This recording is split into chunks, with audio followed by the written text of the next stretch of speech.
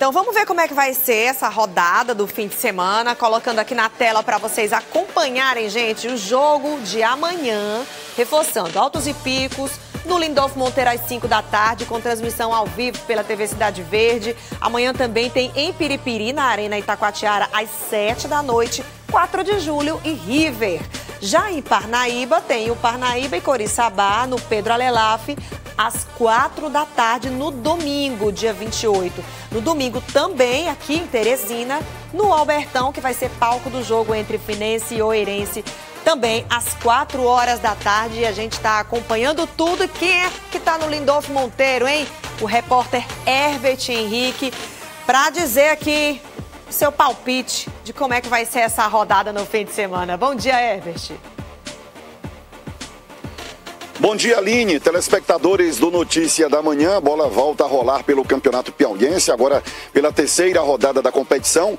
E o jogo que terá transmissão ao vivo da TV Cidade Verde, você já falou, será o jogo aqui, ó, do Estádio Municipal Lindolfo Monteiro, entre Altos e Sociedade Esportiva de Picos. 5 da tarde, você sintoniza a TV Cidade Verde. O jogo vai começar 5 e 15. Altos que vem de uma derrota para o River pelo placar de 3 a 0 quer se reabilitar e a situação pior é a da Sociedade Esportiva de Picos.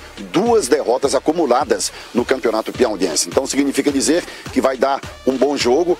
Altos com a expectativa da estreia do atacante de 20 anos, Valber Júnior, que vem da Portuguesa de Desportos, atuou eh, pelo Grêmio, pelo Sampaio Correia e possivelmente estará estreando pela equipe do Jacaré. Vamos conferir como é que anda a Sociedade Esportiva de Picos para essa partida de amanhã que terá transmissão da TV Cidade Verde.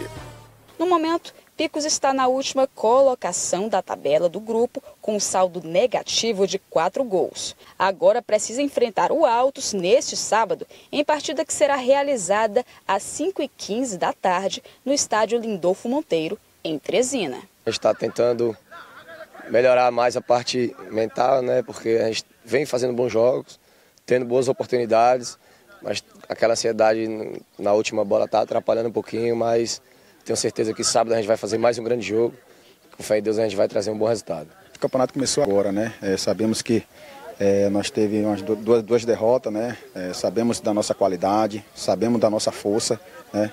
Eu tenho certeza que no sábado lá as coisas vai se reverter e a gente vai em busca dos nossos três pontos para que a gente possa dar sequência no campeonato. Outro problema que Picos enfrenta é a falta de local para treinar e jogar, pois o estádio municipal Elvídio Nunes de Barros foi reprovado em vistoria realizada pela Federação Piauiense de Futebol.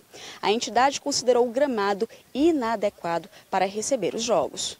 Dessa forma, o time tem que se deslocar todos os dias para a cidade vizinha, Sussuapara, a fim de fazer os treinos. A equipe estava utilizando o estádio de Geminiano. No entanto, por conta dos festejos de aniversário do município, a CEP precisou ir para um campo improvisado. Essa dificuldade a gente não leva para campo, né? Sabemos que todos os clubes do Piauí, a maioria, tem essa dificuldade, e nós está tendo agora no momento, mas isso não, não vai fazer é, nenhum efeito para nós dentro de campo, nós sabemos do nosso compromisso. Mesmo diante das dificuldades, o Zangão não se deixa abater e garante que vai dar a volta por cima no próximo jogo. Tropeçamos nas duas primeiras partidas, apesar de fazer bons jogos, principalmente o último jogo. E a gente precisa mais do que nunca é, é, de uma vitória no sábado, assim como o Altos também, que perdeu também por 3 a 0. Então o campeonato é muito curto e muito difícil, a gente não, não, não pode vacilar. Esse jogo de sábado para a gente é uma final. Daí, portanto, as notícias da Sociedade Esportiva de Picos, colônia picoense convocada para esse jogo. A colônia picoense que eu digo é o povo que mora aqui em Teresina, lá de Picos e Altos. A torcida normalmente comparece ao Lindolfo Monteiro. Amanhã, então, 5 da tarde, esse jogão de bola na tela da TV Cidade Verde. Você vai perder?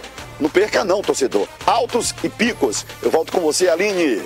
Obrigada, Herbert. Bom jogo aí, boa rodada para todo mundo aí que vai fazer parte dessa cobertura. Obrigada.